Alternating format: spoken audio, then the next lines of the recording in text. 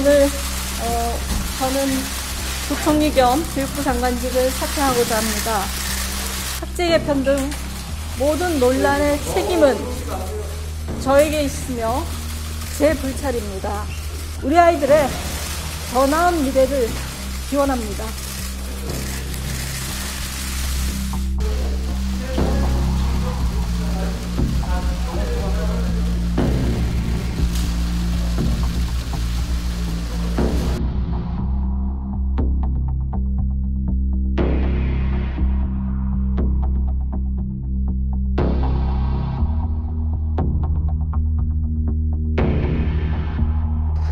장관님, 장관님이 제가 위로받으려고 하는 게 아니에요. 네, 네, 네.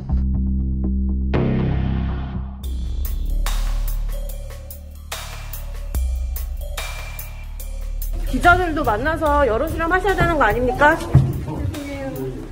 지금 받으시고 가시죠. 지금 받으시고 엘리베이터 상태도 계속 좀 논란이 이상한데 되는데 해결을 하고 가셔야 되는 거 아닙니까?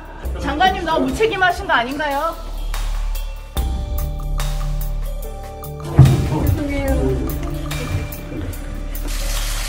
국민 여러분, 오늘 어, 저는 부총리 겸 교육부 장관직을 사퇴하고자 합니다.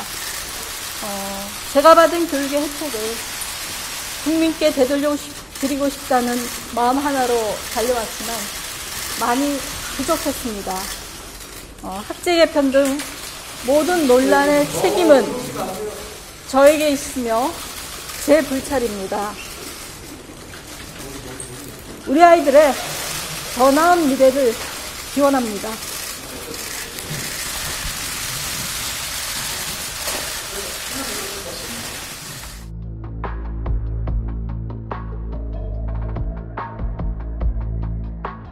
올라가서 어, 살펴보고 어, 어, 필요한 조치가 있으면 하고 이렇게 일을 해 나가겠습니다.